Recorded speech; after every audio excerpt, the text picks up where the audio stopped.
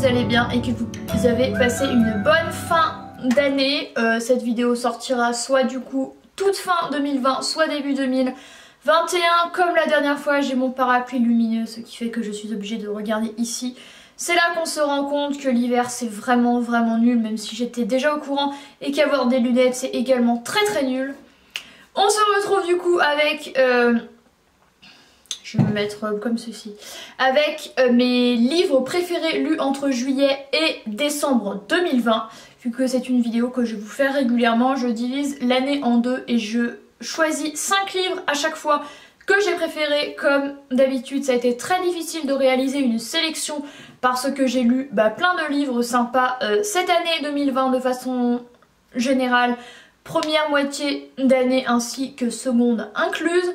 Donc euh, ça a été difficile de faire mon choix, j'en aurais eu 7 ou 8 à vous présenter mais de toute façon vous pouvez voir les autres livres sur ma chaîne avec mes livres lus, voilà de façon générale. Comme chaque mois je vous parle de mes livres lus, vous pouvez retrouver les autres dans ces vidéos là mais là je vais me concentrer sur 5 livres que j'ai adorés. Donc on va dire que ce sont mes 5 préférés lus entre juillet et décembre mais ce n'est pas forcément vrai, enfin il y en a d'autres quoi. Alors le premier que j'ai mis dans cette catégorie et je me devais vraiment de le mettre, finalement voit rien, là c'est Swimming Lessons de Lily Reinhardt qui est une actrice américaine qui joue dans la fameuse série Riverdale et qui a écrit du coup un recueil de poèmes qui devait sortir en mai qui est finalement sorti en septembre il me semble à cause de la situation actuelle. Il est en anglais mais il existe en français sous le titre La tête hors de l'eau et elle parle en fait notamment de dépression, d'amour, de rupture, enfin de pas mal de sentiments qu'on est susceptible de, euh, de rencontrer et de vivre. Les poèmes sont souvent très courts, ça honnêtement euh, vous le lisez en une heure et demie sans problème. Parfois ils sont illustrés comme pas tout le temps donc euh, voilà une page où c'est illustré. J'ai beaucoup aimé, je l'ai trouvé très bah, intéressant, beau, assez difficile à certains moments euh, parce que bah, je me suis un peu retrouvée dedans donc euh, pas forcément simple mais un très beau livre que je vous le conseille vivement. Euh, voilà, ouais, elle parle de pas mal d'émotions négatives et d'états pas super cool qu'on peut vivre. je pense que c'est bien, surtout quand c'est une célébrité qui parle de ça, bah, ça fait plus de retentissement parce qu'on se dit bah oui elle a les mêmes problèmes que nous. Euh, donc voilà. Ensuite, second roman, c'est La mort n'attend pas de Peter James. C'est le cinquième roman que je lis de l'auteur. Je l'ai lu en cette fin d'année, en novembre il me semble. Euh, on va suivre du coup le personnage principal qui s'appelle Roy Grace, que l'on retrouve régulièrement dans les romans de l'auteur. Et en fait, on va parler de trafic d'organes, de greffe d'organes et du problème euh, des personnes qui meurent en fait sans recevoir de greffe d'organes.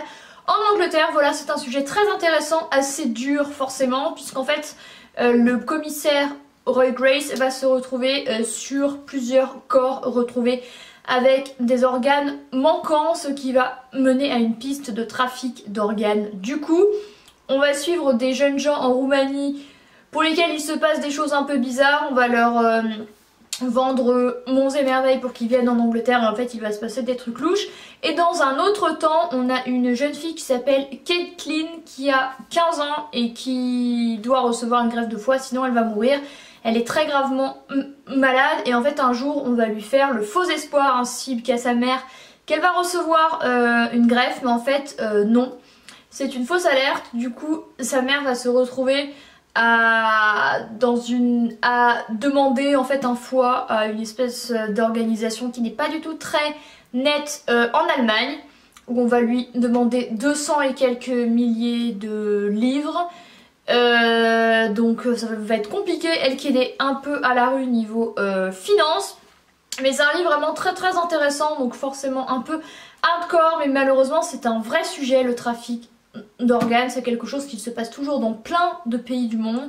Il ne faut pas se leurrer. Et ainsi bah, que la mort de plusieurs milliers de personnes. Chaque année, rien qu'en Angleterre, dû bah, au manque en fait d'organes euh, mis à la disposition bah, de personnes qui en auraient besoin. Donc je vous le conseille vivement. Il n'est pas simple encore une fois, mais c'est une réalité. Ensuite j'ai mis Partir de Tilaya's Esquisse, un peu dans le même genre que le précédent, une sorte de thriller. Décidément j'ai bien dû aimer les trucs hardcore. Euh, cette année, on suit du coup Emily euh, Coleman qui a la trentaine, qui habite à Manchester et qui du jour au lendemain part pour Londres, laissant son mari et son fils à, Manchester. Et en fait, on en ignore la raison. On sait juste qu'elle a besoin de faire ça. Donc elle ne prévient personne, elle part sans rien dire à personne, un peu comme une voleuse quoi. Donc on aimerait bien euh, savoir ben, pourquoi. Euh, ce qu'on va découvrir à la toute fin, qui est très très très tragique. Elle va complètement changer de vie lorsqu'elle va arriver à Londres. Elle va être dans une vieille maison partagée euh, dans laquelle elle va essayer bah, de se faire une nouvelle identité. Elle va même prendre un, faux prénom, enfin qui est son second prénom pour se faire une nouvelle identité pour ne surtout pas être retrouvée. Donc là on se dit il y a quand même un truc grave si elle ne veut surtout pas que euh, quelqu'un la retrouve. Elle va se trouver un travail, elle va complètement changer, évoluer. Elle qui était dans un train de vie en mode maison sympa dans une banlieue agréable. Elle va passer à la ville, elle va fréquenter des bars et des personnes qui se droguent, elle va se retrouver mêlée à des trucs vraiment pas très cool du tout, mais c'est un roman vraiment très intéressant euh, qui évoque bah, des réalités de la vie pas du tout faciles que l'on n'arrive pas forcément à surmonter. Je ne vais pas vous en dire plus. Et du coup, des personnes qui choisissent de fuir plutôt que d'affronter leurs problèmes, mais honnêtement, on peut comprendre. Euh, il y a des fois où je n'aurais pas forcément compris le choix du protagoniste ou de la protagoniste qui m'aurait un peu empêché d'avoir de l'affect et de l'attachement, mais là on comprend. C'est juste qu'on assiste à ce dérivement de vie à Londres où elle part dans tous les sens, mais bon, euh, voilà. Vraiment, je vous le conseille vivement et l'auteur a écrit au moins un autre roman que j'avais lu qui s'appelle Six femmes que je vous conseille les yeux fermés. Quatrième roman qui est un peu plus gay, ou pas, ou pas du tout même, c'est Vers la beauté de Fuenquinos, c'est juste que c'est une plume un peu moins tragique, on va dire. Parce que Fuenquinos, c'est un du coup euh, des maîtres de la littérature française populaire, euh, accessible. Moi, ces livres, je les adore tous. Vraiment, je le trouve vraiment euh, ultra intéressant. Il évoque des sujets tantôt plus compliqués qu'on peut se retrouver affronter dans la vie et les réactions que l'on peut avoir suite à cela. Tant des sujets un peu moins tragiques comme Je vais mieux, où c'est un gars qui a mal au dos et en fait c'est dû à une souffrance psychologique. Mais ça, dans celui-ci, en fait, on va suivre un homme qui s'appelle Antoine Duris, qui est professeur aux Beaux-Arts de Lyon, juste à côté d'où je travaille, donc c'est très marrant. Euh, et en fait, qui du jour au lendemain va se... Euh, va postuler au musée d'Orsay à Paris pour être comment on appelle ça Déjà, gardien de salle au musée. Vous savez, les, personnes qui sont assises sur des chaises bah, pour surveiller en fait et pour euh, indiquer euh, aux personnes où se trouvent euh, ben, des trucs quoi. et en fait, personne ne comprend son choix parce que c'était un orateur, il avait, il a eu, enfin voilà, un orateur, un prof, quelqu'un de respecté qui a du bagou qui enseigne aux gens et en fait euh, du jour au lendemain il veut juste s'asseoir et juste admirer de l'art sans qu'on le fasse chier en fait. Très clairement. Donc au début on se demande pourquoi c'est très je j'irais pas dire jusqu'à drôle mais c'est très atypique en fait ce changement de enfin on assiste à ça et on est en mode mais c'est quand même bizarre et on veut en savoir plus. Il va plus ou moins sortir avec euh, quelqu'un avec laquelle il travaille il se retrouve euh, sans, vie sociale du tout, il ne veut pas du tout parler de son ancienne vie, pas du tout repenser à son mariage qui est fini, mais en fait on va avoir des espèces de flashbacks de son ancienne vie à Lyon euh, où il y avait une étudiante qui s'appelait Camille qui était très très très douée pour laquelle il s'était pris d'affection et qu'il avait aidé en fait. Euh, mais il s'est passé quelque chose, voilà je ne vais pas vous le dire, qui lui a fait énormément de mal et qui euh, lui a fait prendre en fait bah, cette décision de changer de vie pour éliminer cette souffrance et repartir de zéro, voilà, et c'est... C'est un rapport à, l'art qui est très euh, original et atypique parce que du coup on a un peu son interprétation des œuvres qu'il voit tous les jours au musée vu qu'il est passionné d'art forcément Et c'est même un spécialiste d'un grand peintre, euh, Modigliani, voilà. Euh, donc écoutez, voilà, c'est assez simple comme histoire, euh, ça se lit vite, mais pour autant c'est assez triste. Et en fait, ben, ça nous permet de voir le comportement humain, un peu comme le précédent. Je pense que j'aime bien étudier les comportements humains. Voilà, et le dernier livre, et en fait, euh, oui, ça parle aussi vachement du comportement humain, bon, ce qui est un peu l'essence des romans, en fait, je me dis finalement, euh, quand c'est pas des romans fictifs et fantastiques, enfin complètement fictifs et fantastiques, c'est Les filles de Roanoke que j'ai décidé de mettre parce que je l'ai vraiment vraiment aimé, du coup de Amy Engel, qui était euh, le livre de novembre sur The French Book Club dans la catégorie secret de famille, pour le coup c'est un vrai secret de famille. Ça se passe au Kansas, dans une espèce de grande ferme aménagée dans laquelle arrive Lane, 16 ans, euh, qui arrive en fait chez ses grands-parents euh, juste après le suicide de sa mère, donc très très gay. Donc elle passe de New York au Kansas, elle va habiter du coup avec ses étrangers qu'elle n'a jamais rencontrés. Donc là, déjà on se dit il y a quand même un truc qui cloche, ne jamais avoir rencontré ses grands-parents, c'est qu'il doit y avoir un conflit dans la famille, quelque chose de bizarre. Donc on va vite se rendre compte que l'ambiance est étrange. Sa grand-mère, on la voit rarement. Le grand-père est décrit comme euh, un homme très charismatique, avec beaucoup de confiance en lui, qui dégage plein de trucs et tout, décrit comme beau, comme gentil, comme bidule. Mais en fait, on va savoir également qu'il y a une tragédie dans la famille Roanoke, c'est que toutes les femmes sont soit mortes, soit ont disparu dont la mère de sa cousine, Alain, notre protagoniste principale, qui s'appelle... Comment elle s'appelle déjà? C'est ça Allegra, euh, qui a un an de moins qu'elle où elles ont le même âge et qui elle en fait vit chez ses grands-parents depuis euh, la disparition de sa mère, donc les deux vont devenir très très très proches, elles vont enchaîner les 400 coups, alcool, drogue, sexe et compagnie, elles vont découvrir les joies de la jeunesse, euh, d'ailleurs je, enfin, je les ai trouvées très précoces, euh, du coup ça explore aussi un peu ça.